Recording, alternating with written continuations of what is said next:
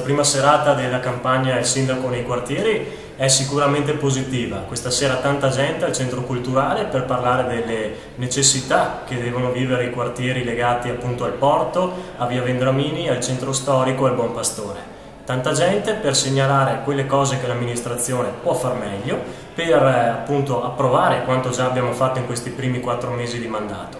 Con il sindaco Vantini abbiamo la volontà assieme anche alla Giunta, di girare quartiere per quartiere tutto il nostro territorio comunale e portare finalmente la politica in piazza, portare finalmente la politica a stretto contatto con le persone, per sentire dalla loro viva voce quello che di bene si può fare per il nostro Paese. Basta con la politica legata alle sedie, basta con la politica chiusa nel palazzo, basta con una politica che concepisce solamente un dialogo tra eletti l'elaborazione della politica stessa. Noi abbiamo la volontà di parlare direttamente con i cittadini e di fare finalmente democrazia partecipata. Ecco, dopo l'incontro di questa sera, visto anche l'esito molto positivo, noi abbiamo voglia di continuare. Fra tre mesi probabilmente, eh, questa sarà appunto la scadenza delle campagne del sindaco nei quartieri, andremo a parlare con i cittadini di Pozzo e in seguito con quelli di Redon e di tutti i quartieri che rappresentano il nostro territorio comunale.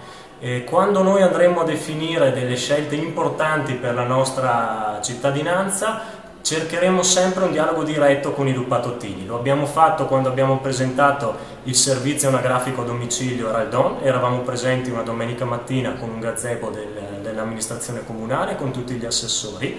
Lo abbiamo fatto quando abbiamo dovuto presentare le soluzioni legate allo spostamento degli alunni dalla scuola Pindemonte alla scuola Cagrande e per spiegare il nuovo servizio mensa. Tutto questo significa democrazia partecipata. Noi ci crediamo, vogliamo che la politica cambi anche da questi aspetti.